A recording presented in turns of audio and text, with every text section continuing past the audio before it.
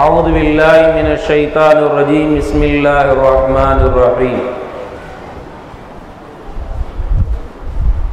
للہ ملک السماوات والارض یخلق ما یشاء یہب لمن یشاء اناثا ویہب لمن یشاء ذکور او یزوجهم ذکرانا و اناثا ويجعل من يشاء وقيما إنه عليم قدير. صدق الله العلي العظيم.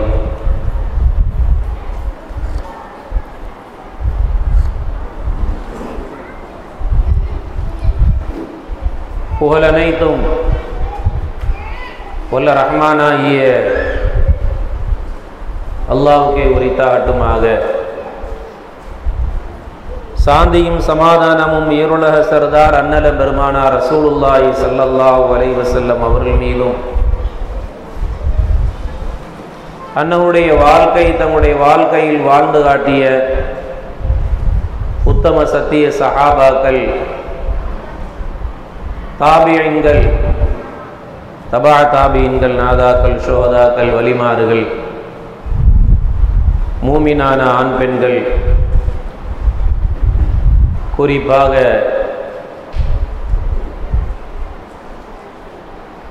இந்த பயான் மஜ்லிஸிலே கலந்து கொண்டிருக்கின்ற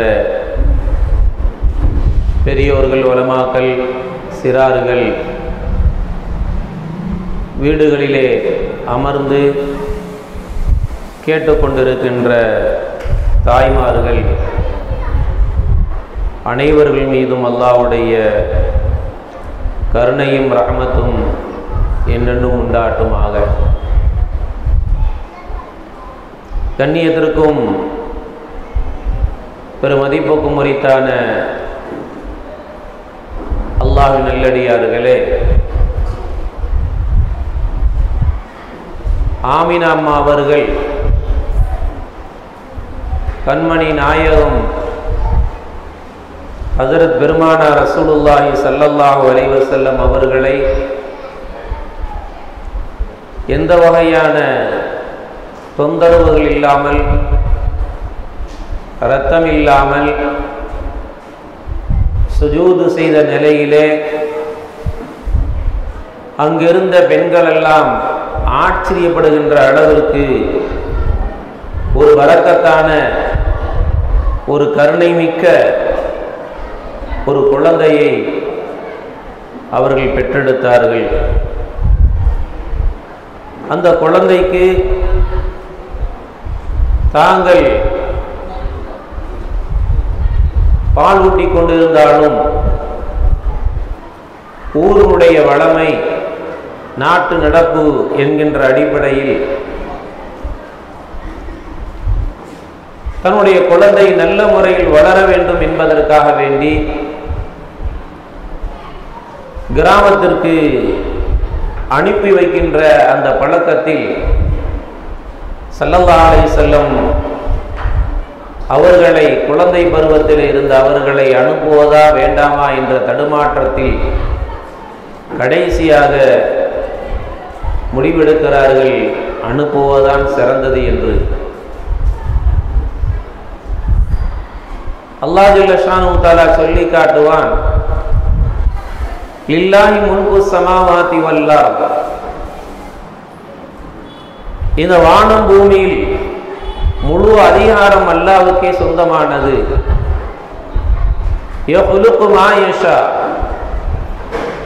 அல்லாஹ் விரும்புவதை அவன் படைப்பான் உருவாக்குவான்.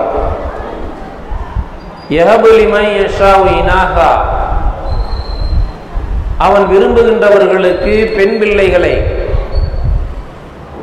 எல்லாமே அவர்கள் பெற்றெடுக்கின்ற பிள்ளைகள் எல்லாம் பெண் பிள்ளையாக இருக்கும். பெண் பிள்ளைகளாக. சிலர்களுக்கு வயகபில் இமையஷாவுக்கு அவன் விரும்புகின்றவர்களுக்கு ஆண் பிள்ளைகளாக அல்லாஹ் ஜல்லஷானு தாலா கொடுக்கிறான்.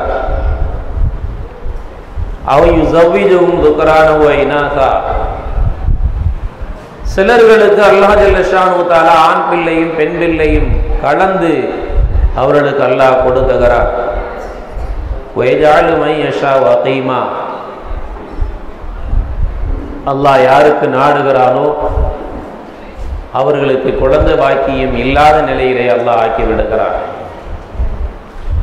இன்னும் அலிமுன் கதீர் அல்லாஹ் சொல்கிறான் அவன் நன்கு அறிந்தவன் சக்தி உள்ளவன் யாருக்கு என்ன குழந்தை கொடுக்கணுமா வேணாமா என்பதையெல்லாம் அல்லாஹ் ஜல்லஷானு தாலா நன்கு அறிந்திருக்கின்றார் அன்பான அல்லாஹ் நல்லடியார்களே நாம் ஒரு குழந்தையை பெற்றெடுக்க வேண்டும் என்று நினைத்தாலும் கூட அல்லாவுடைய நாட்டம் இல்லை என்றால் நாம் பிள்ளை பெற்றெடுக்க முடியாது. அல்லாஹ் பார்த்து நமக்கு அருள் புரிந்தால்தான். பெருமானார் ரசூலுல்லாய் சல்லாலிஸ் அவர்கள் சொல்லுவார்கள் ஒரு கணவனும் மனைவியும் சேரும் பொழுது அங்கே அல்லா ஜல்லஷானு தாரா கருவறைக்கு முன்பாக வழக்குகளை நிப்பாட்டி வைத்திருப்பான். அந்த கருவறையிலே அந்த குழந்தையினுடைய அந்த விந்து துளி வரும் பொழுது அந்த வழக்குகள் அல்லாவிடத்திலே கேட்பார்கள் யா அல்லாஹ் இதை இந்த கருவறைக்குள்ளே இந்த கர்ப்பத்துக்குள்ளே நாங்கள் அனுப்பட்டுமா? இல்லை வெளியே தள்ளிவிடவா என்று கேட்பார்கள். அல்லாஹ் அனுமதி கொடுத்தால்தான் அந்த கருவறைக்குள் அந்த விந்து துளி போக முடியுமே தவிர இல்லை என்றால் வெளியிலே வந்து விடும் அது. அல்லாவுடைய நாட்டம் அல்லாவுடைய நாட்டம் என்ன நினைக்கின்றானோ அல்லாஹ் அதுதான் அங்கே நடக்கும். ஒரு தாயினுடைய கருவறைக்குள்ளே அங்கே மலக்குகள் வந்து நின்று விடுவார்கள். நாம் நினைத்து கொண்டிருக்கிறோம் நம்முடைய கர்ப்பம் தானே கர்ப்பப்பை தான் என்று. இல்லை இல்லை. கர்ப்பப்பை நம்மிடத்தில் வேண்டால் இருக்கலாமே தவிர அந்த கர்ப்பப்போ பைக்குள் என்னென்ன நடக்க வேண்டும் என்பதை அல்லாதான் முடிவு பண்ணுகிறார் அங்கே ஆண் குழந்தையா பெண் குழந்தையா? அந்த குழந்தை சாலியான குழந்தையா? சாலிக் இல்லாத குழந்தையா? என்பதையெல்லாம் அல்லாதான் முடிவு செய்கிறார். அந்த குழந்தை முழுமை பெற வேண்டுமா? முழுமை பெறாமல் ஆகிவிட வேண்டுமா? என்கின்ற அனைத்தையுமே ஒவ்வொரு கட்டத்திலேயும் வழக்குகள் அல்லாவிடத்திலே கேட்கிறார்கள். அல்லாவுடைய அனுமதி கொண்டுதான் அங்கே அந்த குழந்தை வளர்கிறதே தவிர நாம் நினைப்ப நம்முடைய கரத்திலே அது அல்ல. அதனால தான் அந்த குழந்தை பத்திரமாக உள்ளே இருக்கிறது. அல்லாவுடைய பராமரிப்பில் இருப்பதன் காரணமாக தான் இல்லை என்றால் நாம் நடப்பதற்கும் போவதற்கும் வருவதற்கும் இடையில அந்த குழந்தை ஏதாவது ஒன்று ஆகிவிடலாம் ஒரு வாரைக்குள்ளே ஒரு தேரை இருக்கிறது என்று சொன்னால் அந்த தேரையை அல்லாஹ் காப்பாற்றி கொண்டிருக்கிறார் எங்கு இருந்தாலும் எந்த பொருள் என்ன இருந்தாலும் அதை காப்பாற்றுவது அல்லாதான் மனிதன் அல்ல. அதே போல ஒரு கருவறைக்குள்ளே தாயினுடைய கர்ப்பத்திற்குள்ளே ஒரு குழந்தையை காப்பதும் அல்லாதான் காப்பாற்றி கொண்டிருக்கிறான் அவன்தான் வெளியே கொண்டு வருகிறான். அதனால தான் நல்லா சொல்லுவான் நீங்கள் படைக்கின்றீர்களா? நாம் படைக்கிறோமா? ஆண்டும் தப்பருக்கும் தப்பலுக்கும் அம்னஹனுல் நீங்க படைக்கிறீங்களா? நாம் படைக்கிறோமா? அல்லாஹ் ஜல்ல ஷானு தாலா சூரத்துல் வாக்கியாவிலே கேட்கிறார். இப்போ குழந்தை என்பது ஒரு மிகப்பெரிய பாக்கியம். அந்த வாக்கியத்தை பெற்ற நாம் அந்த குழந்தையை எப்படி வளர்க்க வேண்டும் என்பதையும் சல்லாலை சொல்கிறார்கள். மண் ஒளிதலகு வலதுன் பல் யோகசின் இஸ்மவு அர்தமவு யாருக்கு குழந்தை பிறக்கின்றதோ அவர்கள் அந்த குழந்தைக்கு நல்ல பெயரை வைக்கட்டும் ஒழுக்கத்தை கற்றுக் கொடுக்கட்டும் என்று சல்லா அலை சொல்கிறார்கள். எந்த நிலையை ஆமி அம்மா எதிர்பார்த்தார்களோ அதை சல்லாலே செல்லம் சொல்லுகிறார்கள் நீங்கள் குழந்தையை பெற்றெடுப்பது பெரிதல்ல. ஆடு மாடா அவைகள் குட்டி போடுவதை போல குட்டி போடுகின்றமா? அவைக்கும் நம் அதற்கும் நமக்கு மத்தியிலே வித்தியாசம் இருக்கிறது. பராமரிக்கின்ற பொறுப்பு தாய் தந்தையர்களுக்கு இருக்கிறது. ஒரு குழந்தை ஒழுக்கம் உள்ள குழந்தையாக இன்றைய காலத்திலே சூழ்நிலை எப்படி இருக்கிறது? ஒரு வயது வருவதற்கு முன்பே குழந்தை அழுக ஆரம்பித்து விட்டால் செல்லை கையில் கொடுத்துட்றோம். இந்த செல்லை பார்த்துக்கிட்டே இரு அப்படின்னு சொல்லி. சாப்பாடு ஊட்டும் பொழுதும் கூட செல்லை கொடுத்து தான் பிள்ளைக்கு சாப்பாடை ஊட்டுகிறோம். எத்தனை இடங்களிலே பார்க்கிறோம். தாளாட்டுகின்ற பொழுது கூட பிள்ளையினுடைய காதிலே அந்த செவுட்டு மிஷின் அந்த வா வாக்மனா வேக்மனை தூக்கி வச்சு விட்டுறாங்க. அதை கேட்டுக்கொண்டு அந்த குழந்தை தூங்குவது. அந்த காலத்தில் தாய்மார்கள் பைத்துகளை படித்து கொண்டு தாளாட்டுகின்ற அல்லா அல்லா என்று சொல்லி தாளாட்டி வளர்ந்ததன் காரணமாகத்தான் நம்முடைய முன்னோர்கள் எல்லாம் சாலிகானவர்களாக இருந்தார்கள் இன்றைக்கு நம்முடைய பிள்ளைகள் நம்முடைய பேச்சை கேட்காமல் போவதற்கு காரணம் நாம் தான் அந்த பிள்ளைகளை கெடுக்கின்றோம். வழிதவறி போவதற்குண்டான காரணங்கள் யார்? தாய் தகப்பன் தான். சல்லாலும் செல்கிறார்கள் ஒரு பிள்ளை தவறு செய்கிறது என்று சொன்னால் அதற்கு முழு பொறுப்பு தாய் தகப்பன் மீது தான் இருக்கிறது. அதனால தான் சல்லால சொன்னாங்க பிள்ளை பிள்ளைகளை நீங்கள் ஒழுக்கம் உள்ள பிள்ளைகளா சல்லால சொன்னாங்க நீங்கள் உங்கள் குழந்தைய ஏமாத்த கூட செய்யாதீங்க. கூப்பிட்டு ஒரு சாவி தன்னுடைய குழந்தைய வா உன்னை காட்டி இங்கே வா தர்றேன்னு சொல்லி கூப்பிடுறாரு. இப்போ சல்லாலையும் கேட்டாங்க உண்மையிலே தருவதற்காண்டி கூப்பிடுகிறாயா இல்லை சும்மா வரணுங்கிறக்காண்டி கூப்பிடுறியா? இல்லை யார சொல்ல வரணுங்கிறது தான் கூப்பிட்டேன். நீ வர ஏமா அந்த பிள்ளையை சும்மா நீ கூப்பிட்டிருந்தால் நீ ஏமாத்திய குற்றத்திற்கு நீ ஆளாகவா என்று பெருமானார் சல்லாலையும் சொல்கிறார் என்று சொன்னால் ஏமாத்துற பழக்கம் கூட வரக்கூடாதுன்றார் இன்னைக்கு குழந்தைகளை ஸ்கூலுக்கு முத முதல்ல அனுப்பும் பொழுது கூட ஸ்கூலில் படித்து தர்றது என்ன எப்படி ஏமாத்துறது? காக்கா கதையும் சொல்லி வடக்கதையை சொல்லி காக்கா வடையை ஏமாத்துறது கிளவிட்டு இருந்து காக்காட்ட இருந்து நரி ஏமாத்துறது எடுத்த உடனே அவர்களுக்கு சொல்லிக் கொடுக்கின்ற ஆரம்ப இதை எப்படி ஏமாத்துறது? எங்கே போவது படித்து மேலே வரும்போது அவனும் ஏமாத்துகின்ற ஒரு சூழ்நிலை. சல்லாலை செல்லும் பிள்ளைகளுக்கு நல்ல ஒழுக்கத்தை கற்றுக் கொடுங்கள். ஒரு வயசு தாண்டிட்டா ஏழு வயசு ஆகிவிட்டால் அந்த குழந்தையை தொழுவ சொல்லி ஏவுங்கள். பத்து வயசு ஆயிட்டா அடிங்கிறாங்க செல்லாலே செல்லம் நம்முடைய பிள்ளை இன்னைக்கு நம்ம கண்டிக்கிறோமா? நினைத்து பார்க்க வேண்டும். செல்லுகளை சின்ன வயசு பிள்ளைகளுக்கு செல்லுகளை கொடுத்து அவைகளெல்லாம் மிக க- அசிங்கமான ஒரு காட்சிகளை எல்லாம் அதை பார்க்கின்ற ஒரு நிலைப்பாடு. வீட்டில் உட்காந்து எப்படி இருக்கிறோம்? நம்ம டிவி பார்க்குறோம். வயசு பிள்ளையும் வச்சுக்கிட்டு தாய் தாப்பும் உட்காந்துக்கிட்டு அசிங்கமான காட்சிகள் ஓடும்போது அதை பார்த்து கொண்டு இருக்கின்ற சூழல் தான். அந்த பிள்ளைகள் என்ன செய்யும்? எனவே அல்லாஹ் எதை ஏதோ குழந்தை பெற்றெடுப்பது என்பது நமக்கு வாரிசு என்பது அல்ல நமக்கு துவா செய்ய வேண்டும். வலதும் சாலியும் எதுவும் என்று சொன்னார்கள் சல்லாலை செல்லம் துவா செய்கின்ற பிள்ளை நமக்கு துவா செய்வோம் நாம இறந்ததற்கு பின்னால துவா செய்யணும். அதுக்கு தான் குழந்தைகள். இந்த தீன் ஹயாத் ஆகணும் அதுக்கு தான் பிள்ளைகளை தவிர நம்முடைய சொத்துக்கு வாரிசு அல்ல. எத்தனை பேர் விட்டு சென்ற சொத்தைகளை பிள்ளைகள் அனுபவித்துக் கொண்டிருக்கிறார்கள். கோர்ட்டு கேஸ் அப்படின்னு தான் போய் கொண்டு இருக்கிறது அதற்கு மரியம் அலைஹிஸ்ஸலாம் அவர்கள் தன்னுடைய மகனார் ஈசா அலைஹிஸ்ஸலாத்தை பெற்றெடுத்ததற்கு பின்பாக சின்ன வயசுல கொண்டு போய் அப்ப இருந்த வாதிரிகிட்ட கொண்டு போய் விடுறாங்க. என் மகனுக்கு நீங்கள் மார்க்கத்தை சொல்லிக் கொடுங்கள். யூத யூதத்திலிருந்து வந்ததுனால சொல்லிக் கொடுங்க. ஏன்னா ஈசா அலைஹிஸ்ஸலாத்துக்கு பின்னால் தான் வேற மார்க்கம் வருகிறது. அவ கொண்டு போய் விட்டதற்கு பின்னால இந்த வாதிரி அவருக்கு யூத வாதிரி அவருக்கு அந்த குழந்தைக்கு ஈசா அலைஹிஸ்ஸலாத்துக்கு ஆ சொல்லு பாவது பில்லா பிஸ்மில்லான்னு சொல்லும்போது அப்போ அவங்க கேட்குறாங்க ஈசா அலை ஈசா அலைஹிஸ்ஸலாம் பிஸ்மில்லாக்கு என்ன அர்த்தம் சொல்லுங்க முதல்லன்னு கேட்குறாரு நானில் கேள்வி கேட்கணும் நீ கேள்வி கேட்குறீ அப்படின்ட்டாங்க அவங்க. ஈசா அலைஹிஸ்ஸலாத்தை பார்த்து அந்த பாதிரி கேட்டார் குரு கேட்டார் நான் இல்லப்பா உனக்கு சொல்லி கொடுக்கணும் நீ என்னையே கேட்குறிய அர்த்தம் கேட்குறியன்று இல்லை சொல்லுங்க அப்படின்றாங்க. பிஸ்மில்லா ரஹ்மான் இறையும் அளவட்டார் நாம சொல்லுவதை போல் அவர் சொல்லணும் இதுக்கெல்லாம் அர்த்தம் கிடையாது. வேற என்னப்பா அர்த்தம்?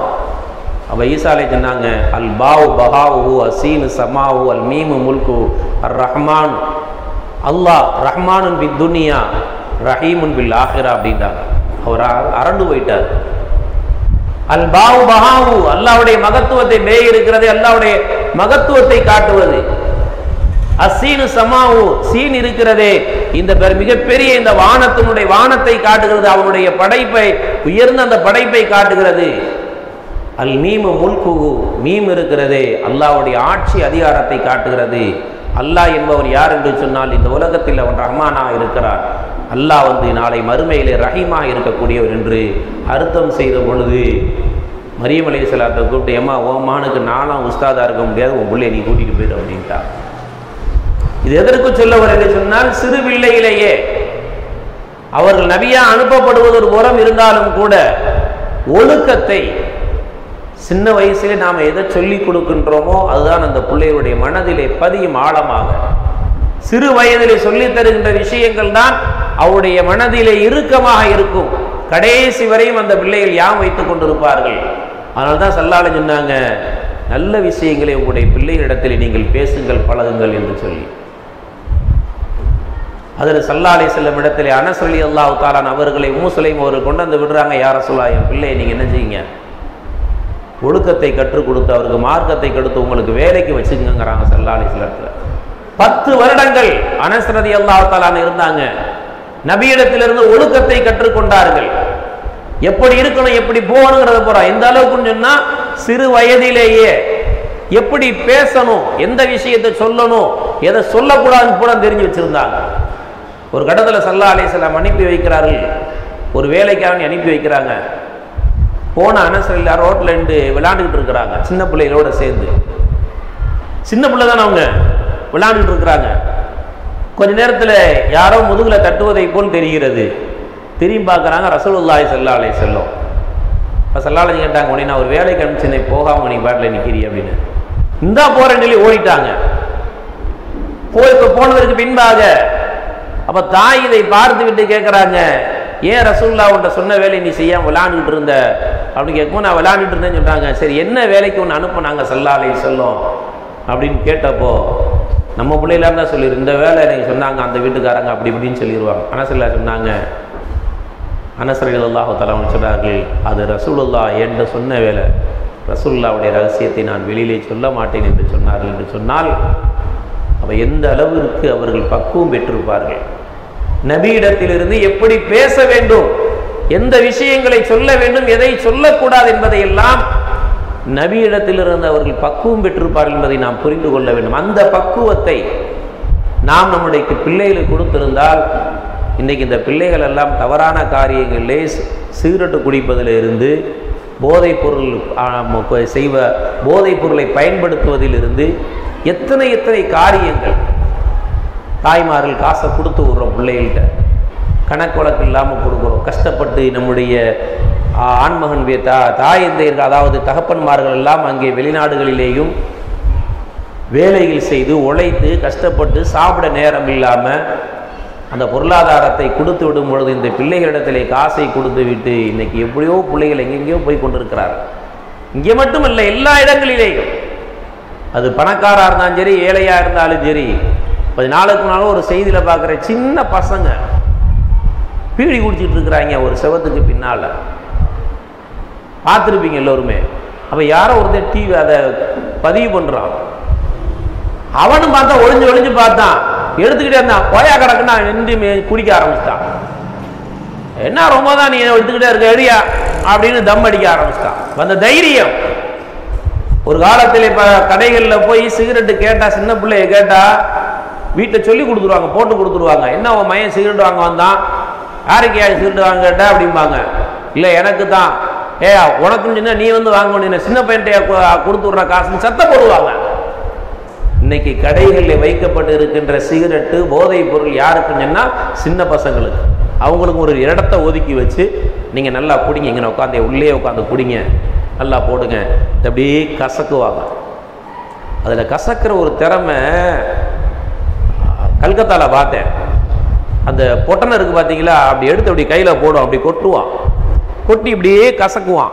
அப்படியே பார்த்துக்கிட்டே இருந்தேன். கசக்கிட்டு இந்த மூணு விரல்ல அப்படி அப்படின்னா அடிச்சுட்டு அப்படின்னா பாருங்க இங்க இருந்த கவுந்து இவ்வளவு தூரத்து எட்டத்துல இருந்த அந்த பொருள் லபக்குன்னு வாயில போச்சு. அட பாய் என்ன எப்படியா போல?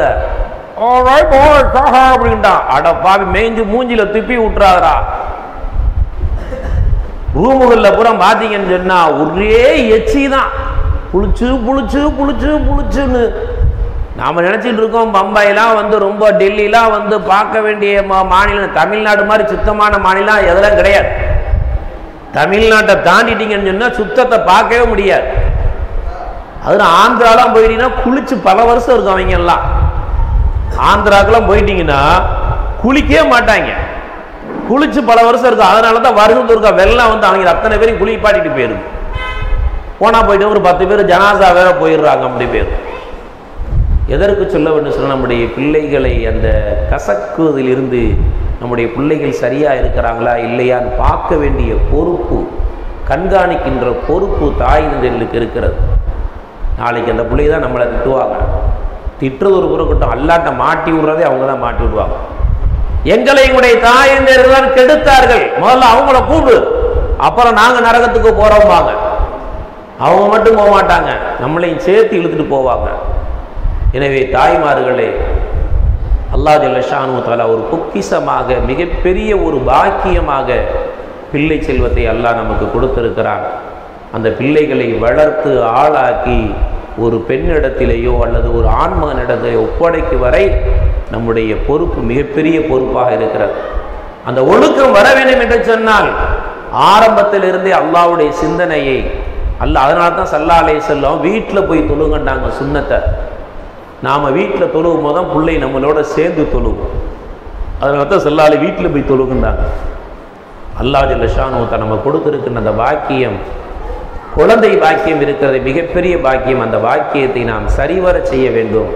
அந்த அடிப்படையில் தான் ஆமீன் அம்மா அவர்கள் நினைக்கிறார்கள் நம்முடைய பிள்ளை இப்படி ஒரு அதிசயமா பிறந்த இந்த பிள்ளை சாலியான பிள்ளையாக நல்ல பிள்ளையாக ஒழுக்கமான பிள்ளையாக பேச்சிலே மிக தூய்மையானதாக பொய் இல்லாத வார்த்தைகள் எந்த கட்டத்திலே பொய் பேசுவதை கூ- பொய்யே பேசக்கூடாது என்ற நிலையை நம்முடைய பிள்ளையிடத்தில் வர வேண்டும் என்று நினைத்து ஆமினா அவர்கள் பாலூட்டுவதற்காக வேண்டி சம்மதிக்கின்றார்கள். இப்பொழுது வெளியில இருந்து ஒரு கூட்டம் வருகிறது. அந்த கூட்டத்திலே சாதியா என்ற அந்த கூட்டத்தை சார்ந்தவர்கள் வருகிறார்கள்.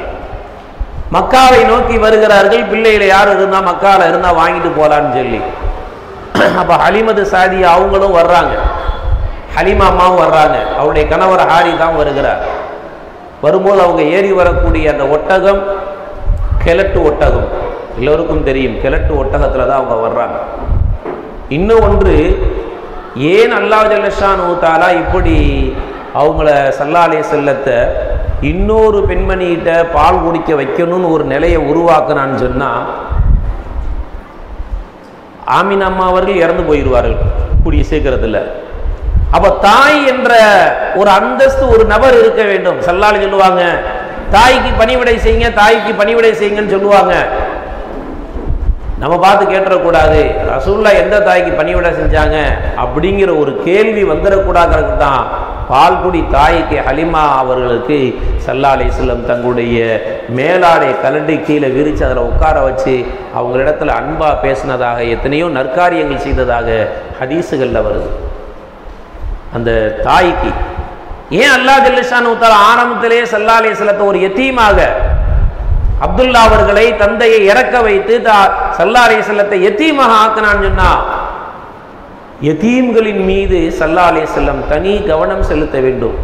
ஒரு தந்தை இல்லை என்று சொன்னால் ஒரு தாய் இல்லை என்று சொன்னால் அந்த பிள்ளை கெட்டு போய் விடும் என்று நினைக்கிறோம் அல்லவா?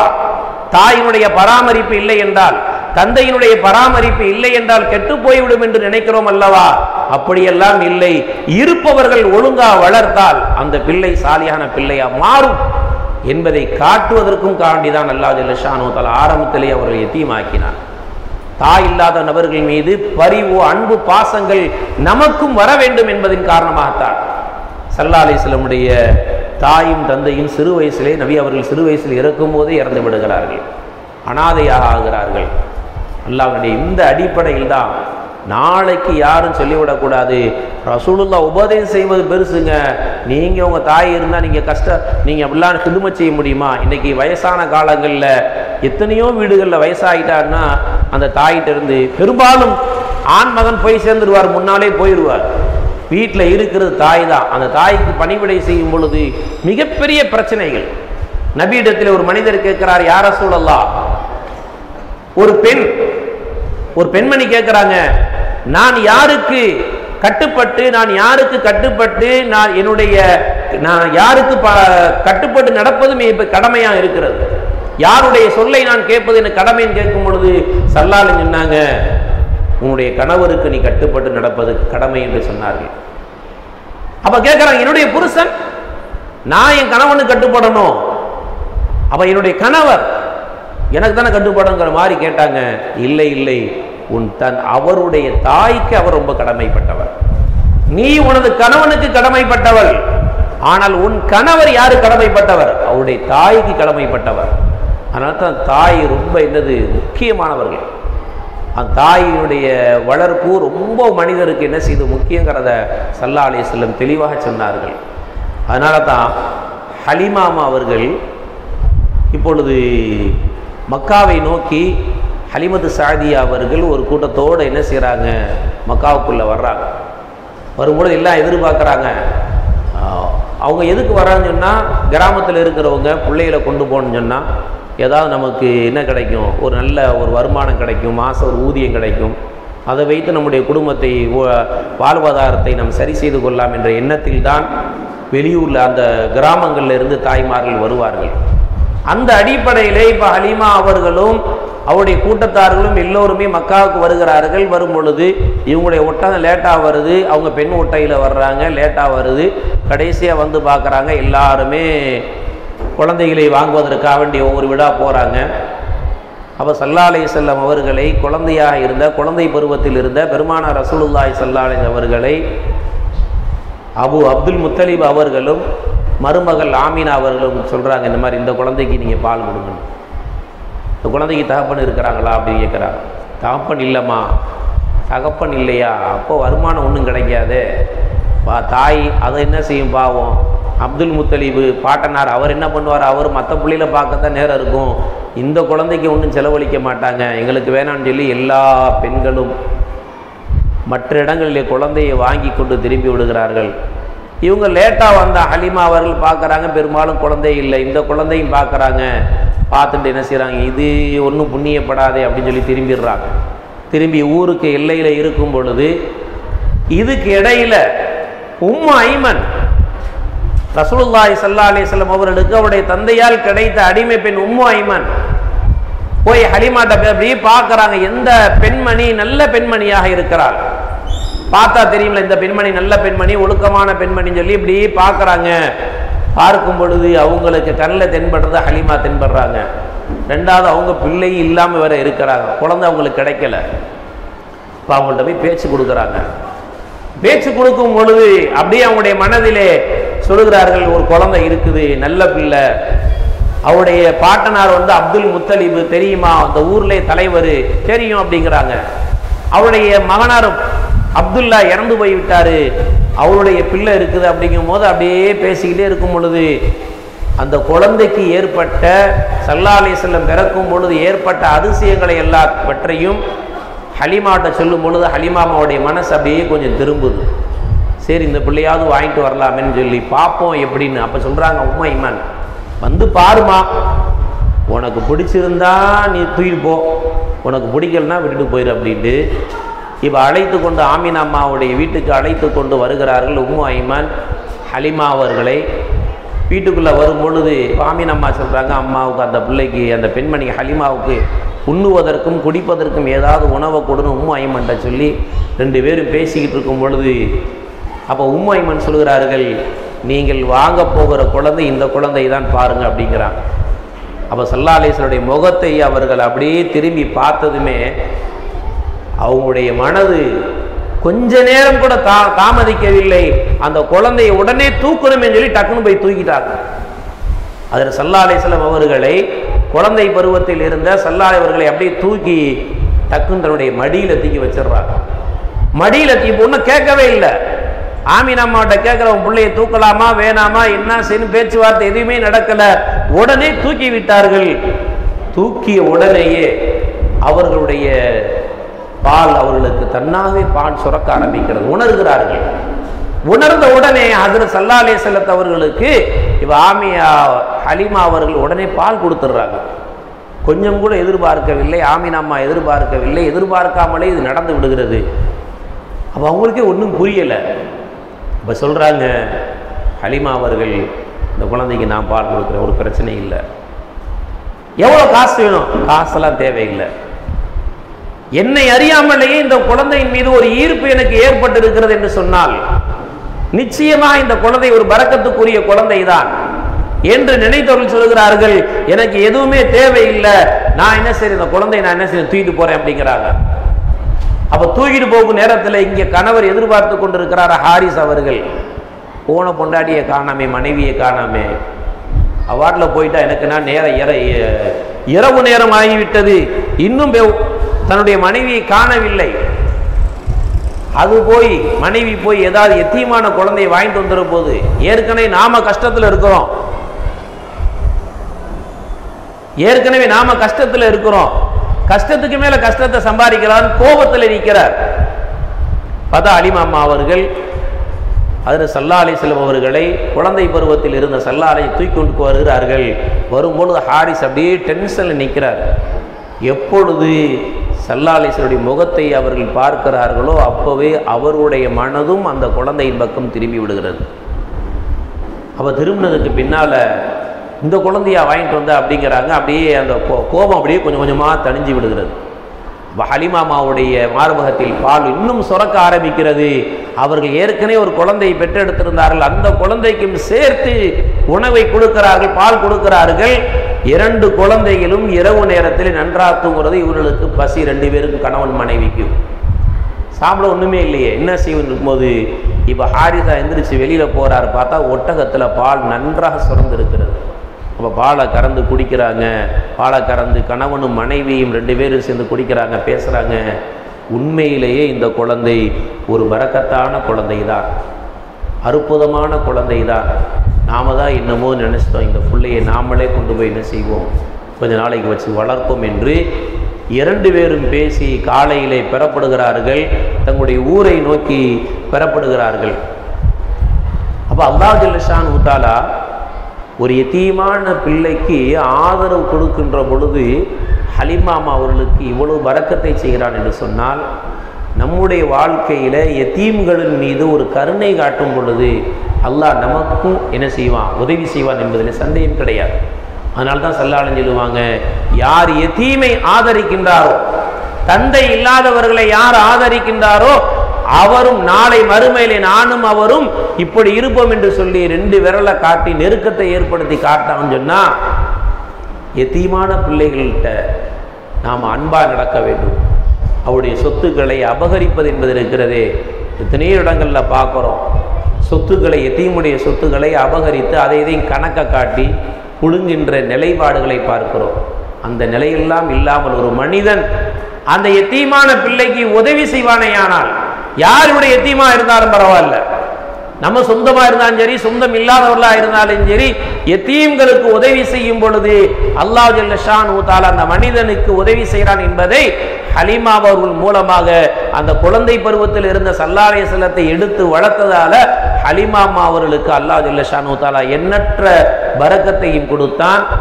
அவருடைய ஒட்டகமும் நடந்து போகின்ற பொழுது வேகமாக நடந்து போகிறது. அப்போ முன்னே சென்றவரெல்லாம் கேட்குறார் ஹலிமாவே என்னம்மா நீ இவ்வளோ வேகமாக போகிற இவ்வளோ வேகமாக போறியே இப்போ எப்படி போகிற உடைய ஒட்டம் தானா ஏற்கனவே நீ வரும் பொழுது அவ்வளவு சோம்பேறியாக மெதுவாக வந்தது அந்த ஓட்டத்தை தான் நீ போறியா? அப்படி கேட்குறாங்க. ஹலிமா அம்மா அப்படியே போகிறாங்க போனதற்கு பின்பாக அங்கே சல்லாலை செல்லம் வளருகின்ற பொழுது யாருக்குமே கிடைக்காத பாக்கியங்கள் எல்லாம் ஹலிமாமா பெற்றார்கள்.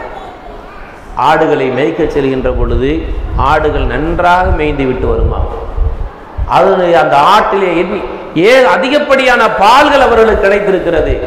தண்ணிலாம் அவங்களுக்கு உண்டான தண்ணி அவங்களுக்கு தண்ணி கிடைக்கிறதுல கூட கஷ்டம் இல்லாமல் தண்ணிகள் எல்லாம் கிடைத்திருக்கிறது.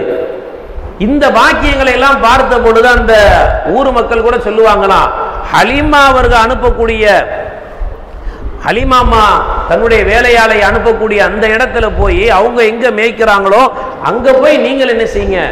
மேய்ச்சிட்டு வாங்கன்னு சொல்லி அடிமையில சொல்லுவாங்களாம் அந்த அளவுக்கு அல்லா ஜல்லஷானு தாலா ஹலிமாமாவுக்கு மட்டும் வரக்கச்சையில் செய்யல. அந்த ஊர் மக்களுக்கும் அல்லா ஜல்லஷானு தாலா என்ன செய்தார்? மழைகள் நல்ல முறையில் பொழிந்திருக்கிறது. ரெண்டு ஆண்டுகள் சல்லா அலை செல்லம் ஹலிமாமாட்ட வளர்றாங்க. இப்போ ஹலிமாமா அவங்கள விடுறதுக்கு மனசு இல்லை. நம்முடைய இந்த பிள்ளையை நாமளே வைத்துக்கொள்வோமே ஏன் விடணும்? கொண்டு போய் விடணும். பேசாம வச்சுக்கிறலாம்னு நினைக்கிறார். இருந்தாலும் கூட அங்க வாக்கு கொடுத்து வந்திருக்கிறார்கள். ரெண்டு வருஷத்துல கொண்டாந்து நாங்க ஒப்படைச்சிருவோம்னு சொல்லி இப்ப அந்த வாக்கை நிறைவேற்ற வேண்டும் என்பதற்காக வேண்டி இப்ப சல்லா செல்லத்தை அழைத்து போகின்ற நிலை.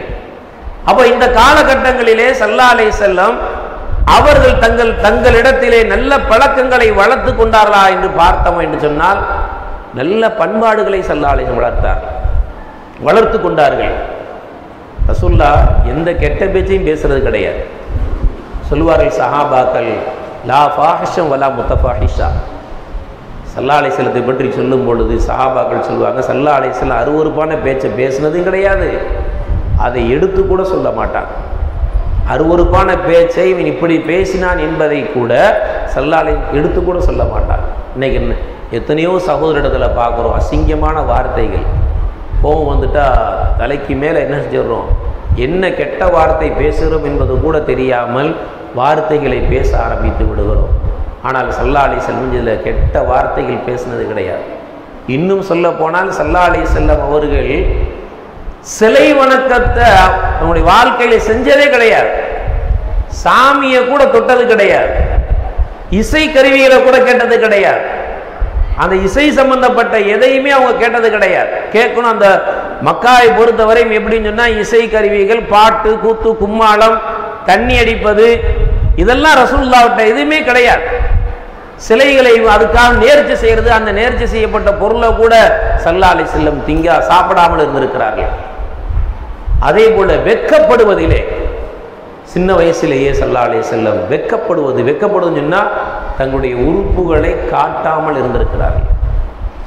ஒரு கட்டத்தில் கூட பள்ளியாச பைத்துல்லாவுடைய பணி நடந்து கொண்டு இருக்கும் பொழுது அவன் மண்ணுகளை எல்லாம் தூக்கி கொண்டு இருக்கிறார்கள். அப்பாஸ் பெரிய தந்தை அப்பாஸ் அவர்கள் மண்ணை தூக்கிட்டு போகிறாங்க இப்போ சல்லாலை சின்ன பிள்ளை மண்ணை தூக்கிட்டு வரும் பொழுது இப்போ அப்பாஸ் இருந்தாங்க ஏப்பா இப்படி இருக்க?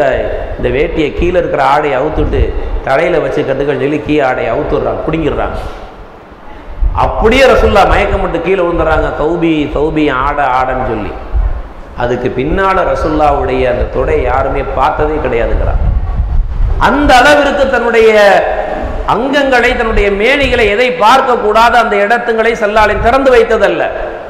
ரசுல்லா திறந்ததில்லை. சொல்லுவாங்க அசத் அலியை பார்த்து உன்னுடைய தொடை ஃபஹதுக்கு அவுரத்துன்பாங்க செல்லாடை இன்னைக்கு நம்ம என்ன செய்கிறோம் வீடாக இருந்தாலும் சரி சில இடங்களில் பார்த்தா தொடை தெரிவதைப் போல். சில பேர் ஒளி போது கூட என்ன செய்கிறாங்க தொடை பூரா தெரிகிற மாதிரி ஒழிச்சுக்கிறாங்க ஒழு புரிஞ்சிடும் இவன் அவனிபாய் பொறுத்தவரையும் மொட்டியில் இருந்து தொப்புள் வரையும் அவுரத்து. குளிச்சுட்டு சில பேர் பார்த்தா பிட்டு துணியை ஒழித்து வர்ற மாதிரி ஒரு ஜாக்கெட் துணி மாதிரி போட்டின்னு கொடுத்துட்டு வர்றாங்க. ஒழிச்சிட்டு பள்ளியாசலுக்கு அப்படியே தொழு வந்துடுறாங்க எத்தனை பேர்களை பார்க்கிறோமே இதில் செய்யக்கூடாதுப்பான்னா ரெண்டு விளக்கம் வேற சொல்கிறாங்க அதெல்லாம் நான் மறைச்சு தான் இருக்கிறேங்கிறாங்க. அவங்க உள்ளாடைகளை உடுத்தும் பொழுது அந்த தொடைகள் எல்லாம் தெரிகிறது அப்படியே வந்து விடுகிறார்கள். இதெல்லாம் அடுத்தவர்கள் பார்க்கக்கூடாது. வீட்டில் குளிக்கும் பொழுது நம்முடைய பிள்ளைக்கு சொல்ல வேண்டும். சிறு பிள்ளையாக இருக்கும் பொழுதே பெண் பிள்ளைக்கு சொல்ல வேணும். நீ மறைச்சு குளின்னு சொல்லி சொல்லி பழக்கணும். சின்ன பிள்ளை தானே அது வாட்டில் குளிச்சுட்டு போட்டோம் அப்படின்னா இதே பழக்கம் பெரிய பிள்ளையாது சின்ன பிள்ளை தானே கொஞ்சம் சாராயத்தை ஊற்றி விடுவோமா? சின்ன பிள்ளை தானே குடிச்சுக்கிட்டும் போனா போயிட்டு போகுதுன்னு சொல்லி.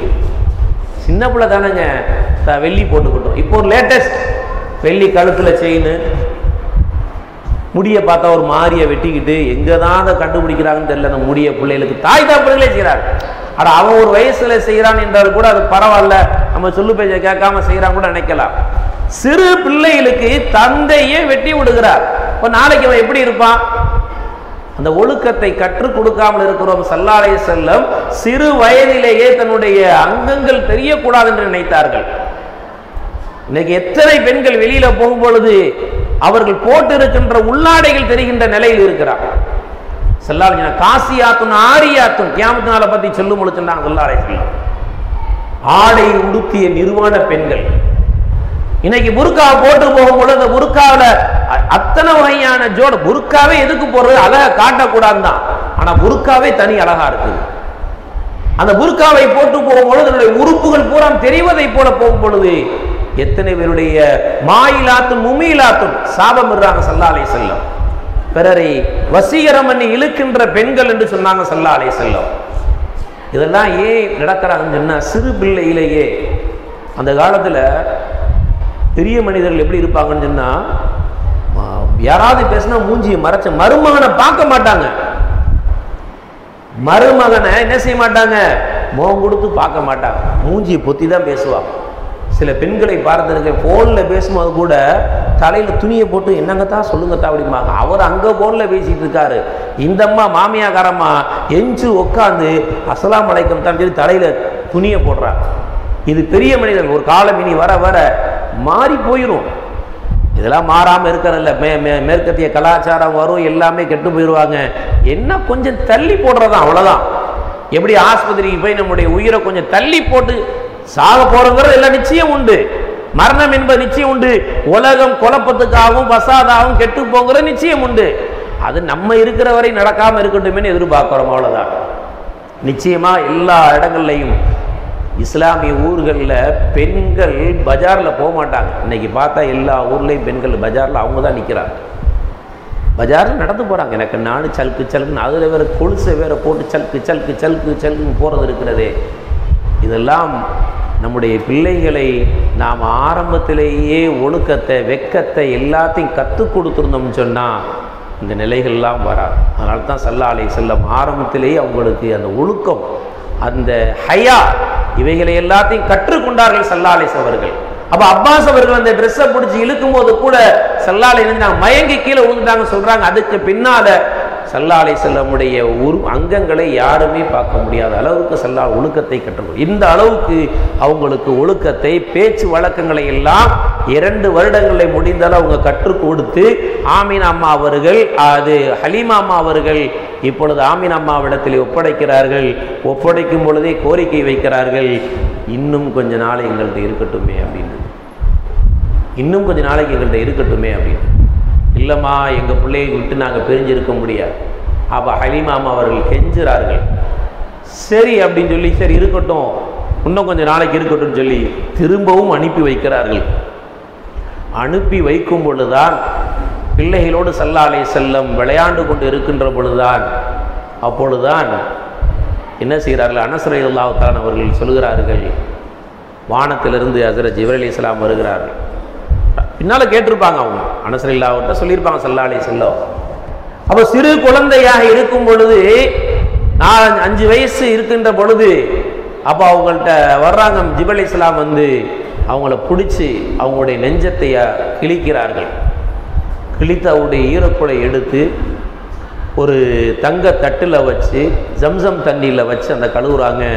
அதில் இருந்த கசடுகளை எல்லாவற்றையுமே ஏன்னா மனதுக்குள்ள சில வகையான கசடுகள் இருக்கும் அல்லவா?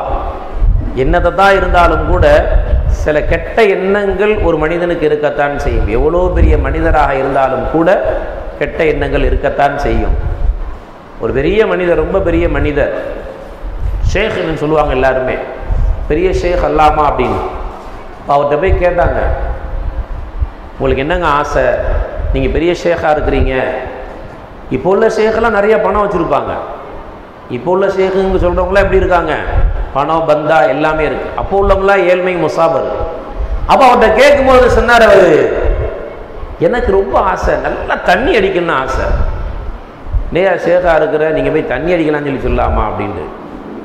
அடிக்கணும் ஆசை தான். அல்லாஹ் ஹராமாக்கிட்டான். அதனால் நான் குடிக்கலை. அல்லாஹ் ஹராமாக்குனா அதனால் நான் என்ன செய்யலை? நான் குடிக்கிறது இல்லை அப்படின்னா. சரி வேற என்ன உங்களுக்கு ஆசை? நல்லா பொம்பளை ஜாலியாக இருக்கணும் நல்லா பத்து பெண்கள் அஞ்சு பெண்கள் அப்படி அந்த காலத்தில் ராஜாக்கள் வாழ்ந்த மாதிரி அப்படி ஜம்முன்னு இருக்கணும். என்னங்க இது நீங்கள் இப்படி சொல்கிறீங்க என் மனதில் உண்டான ஆசைகள் ஆனால் அல்லாஹுக்காண்டி நான் என்ன செய்து விட்டேன்? அதை நான் என்ன செய்து செய்யாமல் இருக்கிறேன். இது எதற்கு சொல்லவில்லை சொன்னால் அவருடைய அந்த மனதிலும் கூட நல்ல மது அருந்த வேண்டும். நமக்கென்று பெண்கள் இருக்க வேண்டும் என்ற அந்த நினைப்பு இருக்கல்லவா இது வந்து நினைப்பு தான் இது தவறல்ல. ஒரு மனிதனுக்கு கெட்ட எண்ணங்கள் வர்றதுன்னு தான் அல்லாஹ் வந்து செஞ்சாதான் பிடிப்பாத. ஆனா அல்லாவுக்காண்டு இதை விட்டு இருந்தார் அல்லவா? இந்த மாதிரி எண்ணம் கூட சல்லாலிசனுடைய மனதிலே வந்துவிடக் கூடாது என்பதற்காக வேண்டி அல்லா ஜல்லிஷானு தாரா ஜிப்ரல் இஸ்லாம் மூலமாக அந்த இதயத்தை என்ன செய்தான் பரிசுத்தப்படுத்தினார். எந்த கெட்ட எண்ணங்களும் நபியினுடைய உள்ளத்திலே வந்துவிடக்கூடாது என்பதற்காக ஏன்னா வயசு இனிமேல் தாண்டும் போது பத்து வயசு எட் பன்னெண்டு வயசு தாண்டும் பொழுது அந்த பக்குவம் இளமைக்கின்றே ஒரு எண்ணங்கள் இருக்கும் அல்லவா? அரும்பு மீசை வரும் பொழுது ஒரு மனிதனுக்கு ஏற்படுகின்ற அந்த எண்ணங்கள் எல்லாம் வரக்கூடாது என்று சொல்லிதான் அந்த இதயத்தை பரிசுத்தப்படுத்தினான் இதை பார்த்துட்டு சின்ன பிள்ளைலாம் போய் சொன்னாங்க ஹலிமா மாட்ட என்னமோ ஒரு யாரோ ஒருத்தவங்க வந்து ரசுல்லாவுடைய முகமதுடைய நெஞ்சத்தை பிளந்து என்னமோ எடுத்தாங்க கழுவுனாங்க வச்சாங்கன்னு சொன்ன உடனேயே இவ ஹலிமாமா அவர்கள் பயந்து விட்டார்கள். ஆஹா இவர் இங்கே இருந்தால் சரி வராது. என்னமோ நடக்குதுன்னு சொல்லி வேகமாக பிள்ளைய கொண்டாந்து பயந்துக்கிட்டு என்ன செஞ்சாங்க கொண்டாந்து ஆமினம்மாட்ட விட்டாங்க. இந்தம்மாவும் பிள்ளைய நீ பிடிச்சிட்ட. எல்லாம் வளர்த்தது நாம் போதும். இனிமேல் ஏன்னா ஒவ்வொன்றும் சில வித்தியாசங்களாக நடக்க ஆரம்பித்து விட்டன. ஒரு ஆச்சரியமாக அவங்களுக்கு அவங்க நடப்பதை அவர்கள் பார்க்க ஆரம்பித்த ஒன்று அவங்க பயந்துட்டாங்க ஏதோ இருக்குமோ அப்படின்ட்டு. இப்போ கொண்டு போய் ஆமீனம்மாட்ட விட்டதுக்கு பின்னால் சல்லா அலி செல்லம் அங்கே ஆமீனம்மாவோட இருக்கிறாங்க.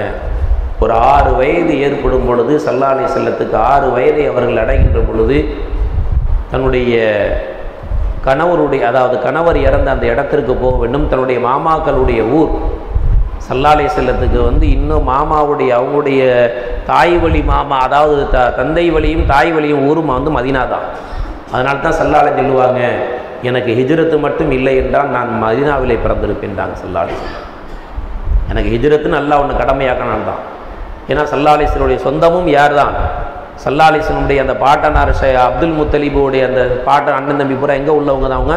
ஷைபா எங்கே பிறந்தவர்? மதினாவில் பிறந்தவர் தான் எல்லாம் அந்த சொந்தங்கள் மாமா இல்லை அங்கே கல்யாணம் பண்ணதெல்லாம் வச்சதில் ஒரு தொடர்புகள். அது ஒரு நீண்டது. அப்போ மாமாவுடைய அந்த ஊரை பார்ப்பதற்காக வேண்டி மதினாவுக்காக வேண்டி ஆமீன் அம்மா அவர்கள் எங்கே வருகிறாங்க?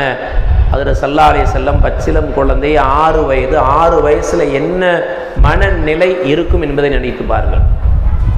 உம்மு ஆமீன் அம்மா அவர்கள் அதரத் ரசூலுல்லாஹி ஸல்லல்லாஹு செல்லம் மூணு பேருமே வர்றாங்க. ஒரு மாதம் அந்த இடத்திலே அவர்கள் இருக்கிறார்கள். ஒரு மாதம் மதினாவிலே எத்திரிபிலே தங்கி இருக்கிறார்கள் மன அமைதிக்காக வேண்டி.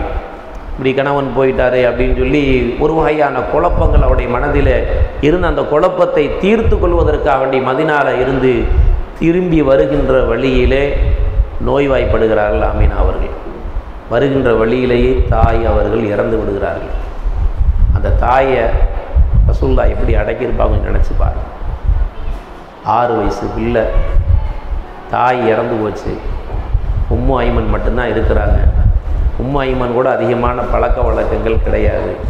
ஹலிமாமா இருந்தாலும் கூட பழக்க வழக்கம் ஜாஸ்தியாக இருந்துச்சு. அவங்க எடுத்து பராமரித்தாங்க ஆனால் இருப்பதோ யார்? உம்மு ஐமன் அன்பு பாசம் என்பது அது வேறு. சின்ன பிள்ளைக்கு என்ன தெரியும்? தன்னுடைய அன்பை காட்டிய ஒரு ஒரே ஒரு ஜீவன் யார் மட்டும்தான்? ஆமீன் அம்மா மட்டும்தான். அந்த தாய் மட்டும்தான். அந்த தாய் இறந்து கிடக்கிறார்கள்.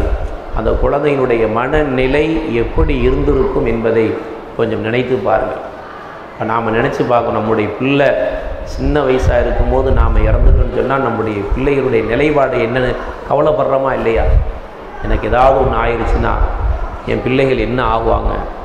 அப்படின்னு நினச்சி தான் கஷ்டப்பட்டு எல்லாவற்றையும் தாங்கி கொண்டு நாம் வேலை செய்கிறோம். எல்லாத்தையும் தாங்கி கொள்கிறோம். வண்டியில் போகும்போது கூட வேகமாக போன மனிதர்கள் கூட என்ன செய்கிறோம் வண்டியை மெதுவாக ஓட்டி போகிறோம் ஏன்பா என்னப்பா செய்ய? என்னை நம்பி ஒரு நாலு பேர் ஜீவன் இருக்காங்க. நான் என் பிள்ளைகளை காப்பாற்றணும்னு நினைக்கிறோம் அல்லவா? அப்போ அந்த தாய் இறந்து போன அந்த நேரத்திலே அந்த குழந்தையாக இருந்த சல்லாலத்தின் மனநிலை எப்படி இருந்திருக்கும்? அந்த தாயின் மீது குழியை தோண்டி எப்படி மண்ணை போட்டிருப்பார்கள்? அந்த பிஞ்சு உள்ளம் எப்படி துடித்திருக்கும் என்பதை நினைத்து பாருங்கள். இன்னைக்கு நம்முடைய பிள்ளைகள் இறந்து விட்டால் அல்லது நம்முடைய தாய் தந்தையர்கள் இறந்து விட்டால் எப்படி பதறி அழுகின்றோம்? சிலர் நடித்து அழுவார்கள். சிலர் உண்மையிலே அழுவாங்க. சில பேர் சொத்துக்காண்டி என்ன செய்வாங்க? வரும்போதே போயிட்டியா? அப்படிம்பாங்க. வந்தமே பீரல் சாவி இதெல்லாம் கரெக்டாக இருக்குன்னு பார்ப்பாங்க. பீரெல்லாம் கரெக்டாக இருக்கா? சொத்துலாம் பத்திரம்லாம் கரெக்டாக இருக்காங்க என்னுடைய நான் சிறுவனாக இருக்கும் பொழுது ஒரு இடத்துல ஒரு இந்து அவர் சொல்லுவார் அவர் மான்ட்ட அவர் பேர் பெரியார். மான்ட்ட சொல்லுவார் ஏ பெரியார் இங்கே வாடா அப்படிம்பாங்க உடனே போகிறேன் என்னப்பா? என்ன ஐயா? நான் செத்துட்டேன்னு வச்சுக்க என்ன செய்வ? ஏன் அப்படி பேசுகிறீங்க சொல்கிறா செத்துட்டேன்னா என்ன செய்வ? அழுகுவேன் அப்படின்னு. லூசு பேர் அழுகக்கூடாதுடா. முதல்ல கதவை தாவா போடு. நான் செத்துட்டேன்னு சொன்னால் என்ன செய்யணும் முதல்ல? கதவை தாப்பா போடு.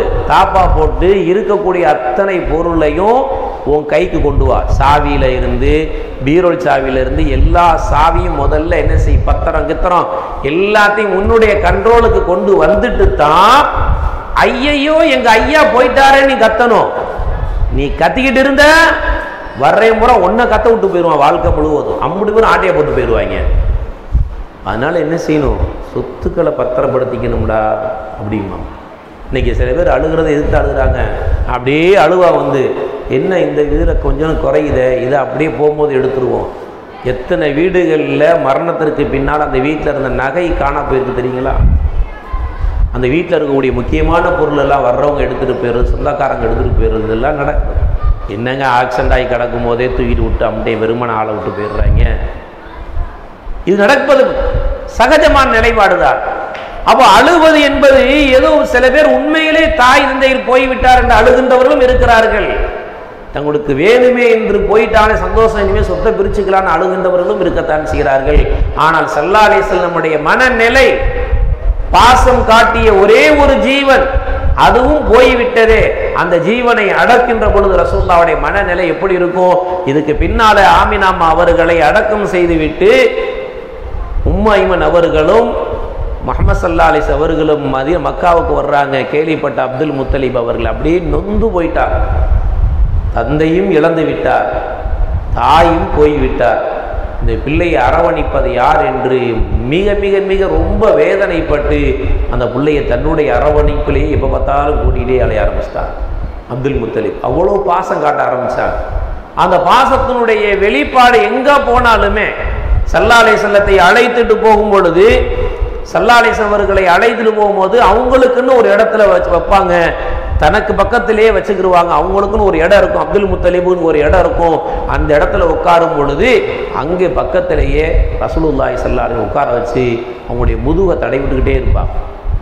சில நேரங்களில் வந்து அப்துல் முத்தலிபுடைய பிள்ளைகள் சொல்லுவாங்களாம் ஏய் நீ போய் அங்கே போய் உட்கார்ற இங்கிட்ட வந்து உட்காரும் போது அப்துல் முத்தலிப் சொல்லுவாங்க இல்லை இல்லை இவருக்கென்று சில அந்தஸ்துகள் மரியாதைகள் இருக்கிறது எனவே அவரை விட்டு விடுங்கள் இருட்டே உட்காரன்னு சொல்லி மடியில் தூக்கி உட்கார வச்சுருவாங்களாம் அந்த அளவுக்கு அப்துல் முத்தலிப் அவர்கள் அதில் சல்லா அலி செல்லம் அவர்கள் மீது அதிகமான பாசத்தை வைத்திருந்தார்கள். கடைசியில் அவர்களும் எட்டு வயது ஆகின்ற பொழுது சல்லா செல்லத்துக்கு எட்டு வயது ரெண்டு வருஷம் அவங்க பராமரிச்சுட்டு இருந்தாங்க. எட்டு வயது ஆகும் பொழுது இப்பொழுது அப்துல் முத்தலீப் அவர்களும் இறந்து விடுகிறார்கள்.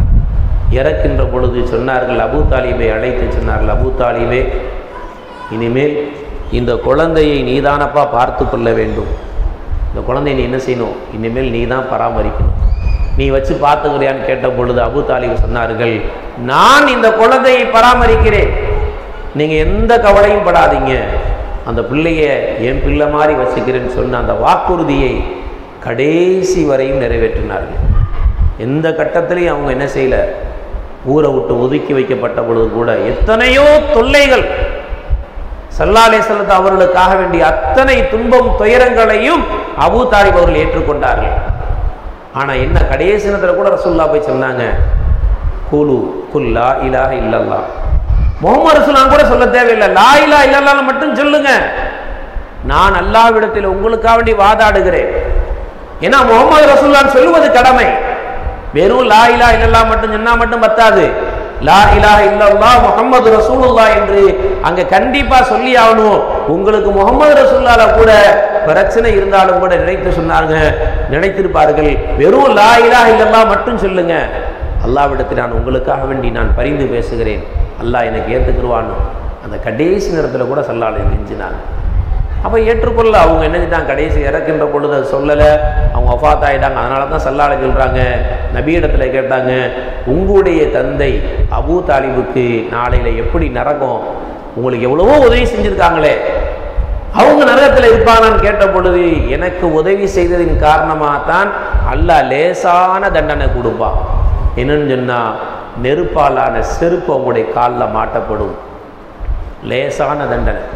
இதான் இருக்கிறதுலே லேசான தண்டனை. இதுக்குமே லேசு இல்லை. அந்த லேசான தண்டனையில நெருப்பாலான செருப்பை மாட்டி விடப்படும் அந்த செருப்பின் மூலமாக அவருடைய மூளை அப்படியே உருகி ஓடும் என்று சல்லால சொன்னாங்கன்னா இந்த செருப்புக்கே இவ்வளோ தண்டனை. நம்ம செய்யக்கூடிய எத்தனை சேட்டைகளுக்கு எத்தனை வகையான குற்றங்களுக்கு என்னென்ன தண்டனை ஏற்படும் கொஞ்சம் நினச்சி பாரு இத்தனைக்கும் ரசூலுல்லாஹி ஸல்லல்லாஹு முழு ஒத்துழைப்பு கொடுத்தவங்க. கடைசியுடைய நிலைமையும் இப்படி இருக்கிறது என்று சொன்னால் கடைசி வரையும் அபு தாலிப் அவர்கள் சல்லா செல்லத்திற்காக வேண்டி எல்லா வகையிலையுமே தன்னுடைய தந்தையிடத்தில் அப்துல் முத்தை முத்தலிப் இடத்தில் எந்த வாக்குறுதியை கொடுத்தார்களோ நான் பார்த்து கொள்கிறேன் இவரை நான் பார்த்து கொள்கிறேன் எந்த வாக்குறுதியை கொடுத்தினார் கொடுத்தார்களோ அந்த வாக்குறுதியை கடைசி வரை நிறைவேற்றினார்கள். இப்போ அபு தாலிப் அவர்கள் சல்லாலை செல்லத்தை எடுத்து வளர்த்து கொண்டிருக்கிறார்கள். ஒரு பனிரெண்டு வயது சல்லாலை செல்லம் நெருங்கின்ற பொழுது இப்பொழுது அபு அப்- அபு தாலிப் அவர்கள் வியாபாரத்துக்காக வேண்டி ஷாம் நோக்கி போகிறார்கள். ஷாம் நோக்கி போகும் பொழுது அப்படியே போயிட்டே இருக்கிறாங்க. அங்கே ஒரு இடம் இருக்கிறது பஸ்ஸரா அதாவது அங்கே ஒரு பாதிரி புஹைரா என்ற பாதிரி அவர் பேர் வந்து ஜர்ஜிஷ். அவருடைய பேர் என்ன ஜர்ஜிஷு.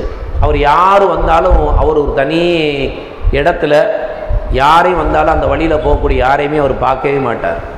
யார் வந்தாலும் போனாலும் யார் தங்கி இருக்கிறாங்க வைக்கிறாங்கங்கிறத எதையுமே பார்க்க மாட்டார். அப்படிப்பட்ட அந்த ஜர்ஜிஸ் என்ற புஹைரா அவர்கள் பஹீரா பஹீரா அவர்கள் அப்போ அவங்க இருக்கிற இடத்த அபு தாலிபு சல்லாலேசத்தை அழைச்சிட்டு போகிறாங்க இப்போ அபு தாலிப் மட்டும் போகலான்னு நினைக்கும் பொழுது இப்போ சல்லாலே சொன்னாங்க நானும் உங்களோட வர்றேன். என்னையும் கூட்டிகிட்டு போங்க. இல்லைப்பா வேணாம்ப்பா நீங்கள் இருப்பா அப்படிங்கிறாங்க. இல்லை இல்லை நானும் உங்களோட வந்து தான் ஆகவேன் என்று சொல்கிறார்கள் இப்பொழுது சல்லாலே செல்லத்தையும் அழைச்சிட்டு போகிறாங்க போகின்ற பொழுது அப்போ தான் அந்த பஹீராங்க கூடிய பாதிரியை பார்க்கிறார்கள். அப்போ பஹீரா பாதிரி எல்லாருமே இவங்க எல்லாம் உட்காந்துருக்கிறாங்க உட்காந்துருக்கும் பொழுது அறையிலிருந்து அவர் தங்கியிருந்த இடத்துல இருந்து பஹீரா வந்து சொல்கிறார் நீங்கள் எல்லாமே சாப்பிட வாங்க அப்படின்னு விருந்து கூப்பிட்றார். அதில் பல வகையான நிகழ்வுகள் சொல்கிறாங்க அவராக கூப்பிட்டாங்க அல்லது அவர் வந்து எல்லாரையும் இணைஞ்சார். போய் எல்லாருக்கும் விருந்து வச்சு எல்லாத்துக்கும் கண்ணியப்படுத்தினாருங்க அவர் சொல்லும்போது சொல்கிறாங்க அவரை அதாவது சல்லாலேஸ்லம் அவர்களை தனியாக நின்று அவர் இணைஞ்ச கையை பிடிச்சி சொன்னாராம். குறைசி மக்களே இவர் நாளை இவர் ஒரு மிகப்பெரிய தலைவராக வருவார். நாளை இவர் எப்படி வருவார்? மிகப்பெரிய தலைவராக வருவார். இவரை நீங்கள் பத்திரமா பார்த்து கொள்ளுங்கும் போது எல்லாரும் கேட்குறாங்க இவர் தலைவராக வருவார்னு எப்படி உங்களுக்கு தெரியும்? அப்படின்னு. இன்னும் சில ரிவாயத்தில் எப்படி வருதுன்னு சொன்னால் அப்போ உட்காந்து எல்லாத்துக்கும் விருந்து போடுறாரு. போடும் பொழுது சல்லாலை சில மட்டும் வராமல் நிற்கிறாங்க இப்போ நபியை கூப்பிட சொல்லி அந்த சின்ன பையன் மட்டும் ஏன் கூட எல்லாருமே வந்தாச்சான்னு கேட்குறாரு அவர். எல்லாருமே வந்துட்டோம். இல்லை ஒரு ஆள் குறையுது. யாரும் பார்த்தா சல்லாலை கூப்பிட்டது சல்லாலை வரமாட்டேன்ட்டாங்க. சின்ன பையனாக இருக்கும்போது பண்ணுறது நான் சாப்பிட வரலன்ட்டான். அப்போ புரிஞ்சுக்கிட்டாங்க இவர் தான் யார் கடைசியாக வருகின்ற நபி என்பதை புரிந்து கொண்டு தான் அறிவிப்பு செய்கிறார்.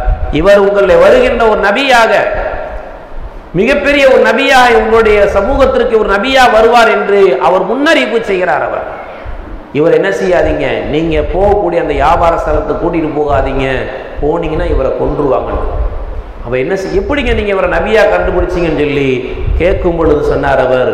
இவர் வரும் பொழுது இந்த பையன் முகமது என்ற பையன் வரும் பொழுது மரங்களும் மலைகளும் அவரை பார்த்து அப்படியே சுஜூது செய்தன வணங்கியன. அதாவது குனிந்தன. இது நபிமார்களுக்கு மட்டும்தான் நடக்கும் கடைசி நபிக்கு மட்டும்தான் நடக்கும். அதனால் இவரை பார்த்ததுமே நான் புரிஞ்சுட்டேன் இவரை பார்த்ததுமே அப்படியே அந்த மரங்கள் எல்லாம் சாய்ந்து இவருக்கு வந்த வரவேற்பு செய்ததை பார்த்து நான் புரிந்து கொண்டேன். இவர் உண்மையில் நபியாக இருக்குன்னு சொல்லி. அதனால தான் நான் சொன்னேன்னு சொல்லி இவரை இனிமேல் வச்சிருக்காதீங்க. நீங்கள் உங்களுடைய ஊருக்கு இவரை என்ன செய்து விடுங்கள்? அழைத்து சென்று விடுங்கள் என்று அந்த பஹீரா சொன்னதற்கு பின்பாக அபூ தாலிப் அவர்கள் என்ன செய்து விடுகிறார்கள்? அழைத்து கொண்டு ஊருக்கு வந்து விடுகிறார்கள். காலங்கள் போகின்றன. தேவைகள் ஏற்படுகின்றன. காலங்கள் போகின்றன. சல்லாலை செல்லும் அவர்களுக்கு வயதும் ஏறிக்கொண்டு வருகிறது. இப்போ இந்த நேரத்தில் தான் மக்கள் எல்லாம் வியாபாரத்துக்கு போகணும்னு சொல்லி எல்லோருமே தயாராகி கொண்டு இருக்கும் பொழுதுதான். அப்போது அபு தாலிபு சொன்னார்கள் அப்போ தான் ஹதீஜாமா அவர்கள் ஒரு செல்வ சீமாட்டியாக மக்காவிலே மிகப்பெரிய வசதி உள்ள ஒரு செல்வ சீமாட்டியாக இருக்கிறார்கள். அப்போ இதுக்கிடையில் நபியை பற்றி அவர்களும் கேள்விப்படுகிறார்கள். ஒரு நம்பிக்கையாளர் அமீன். ரொம்ப உண்மை பேசுகின்றவர் பொய் பேச மாட்டார் என்ற செய்திகளெல்லாம் அவர் கேட்குறார். அப்போ அபு தாலிபு போய் சொல்கிறாங்க இந்த மாதிரி என்னுடைய தம்பி பையன் இருக்கிறா அவனும் வியாபாரத்துக்கு அனுப்பிச்சிருக்கும் போது அவள் ஹதிஜாமா சொல்கிறாங்க உன் பையனை வர சொல்லுங்க. எல்லோருக்கும் கொடுக்கின்றதை விட ரெண்டு மடங்கு அவருக்கு நான் தருகிறேன். எல்லோருக்கும் என்ன லாபம் தருவேனோ பங்கு தருவேனோ வியாபாரம் செய்து வந்தால் அதில் அந்த பங்குல ரெண்டு பங்கு நான் கொடுக்கிறேன் அவரை வர சொல்லுங்கள் என்று சொல்லுகிறார்கள். இப்பொழுது சல்லா அலிஸ்லாம் அவர்கள் சந்திப்பு அவர்களுக்கு கிடைக்கிறது. அதற்கு பின்பாக ஹதீஜாமா அவர்களை எப்படி திருமணம் செய்தார் என்பதை இன்ஷா அல்லாஹ் நாளை பார்ப்போம்.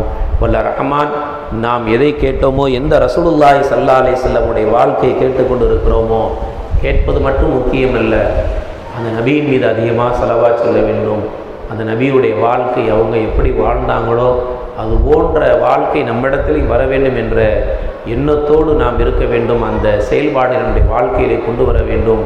கொண்டு வருவதற்கு வல்ல ரஹ்மான் நம் அனைவர்களுக்கும் தோகை செய்வானாக. வாஹர் தாவான் அலமதுல்லாஹி ரபில் ஆலமின். அஸ்லாம் வலைக்கம் வரமத்துல்லாய் தாரா பரகாத்து الحمد لله رب العالمين اللهم صل على سيدنا نبينا مولانا محمد وبارك وسلم عليه ربنا لا تؤاخذنا إن نسينا وخطأنا ربنا ولا تحمل علينا إصرا كما حملته على الذين من قبلنا ربنا ولا تحملنا ما لا طاقة لنا به واعف عنا واغفر لنا وارحمنا أنت مولانا وانصرنا على القوم الكافرين صلى الله تعالى وسلم على النبي الأمي وعلى آله وصحبه وسلم الحمد لله رب العالمين صلی اللہ علیہ محمد صلی اللہ علیہ وسلم. صلی اللہ علیہ محمد صلی اللہ علیہ وسلم. صلی اللہ علیہ محمد یا ربی صلی علیہ وسلم. السلام علیکم ورحمۃ اللہ وبرکاتہ